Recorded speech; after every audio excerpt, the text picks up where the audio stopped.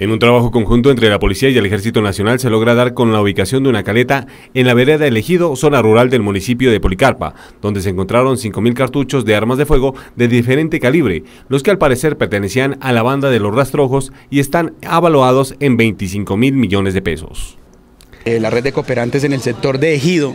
eh, jurisdicción del distrito de Policarpa se realiza la incautación de 5.000 cartuchos de munición calibre 762, munición de fabricación rusa y fabricación china. Esta munición perteneciente a las bandas criminales que delinquían sobre el sector de Policarpa, antiguamente Rocas del Sur, la cual prácticamente eh, no se encuentra en este momento delinquiendo sobre ese sector. Se llega directamente a una caleta donde se encuentran estos elementos, los cuales eh, se encontraban en unos timbos de tipo plástico guardados sobre una vereda en un sector rural del municipio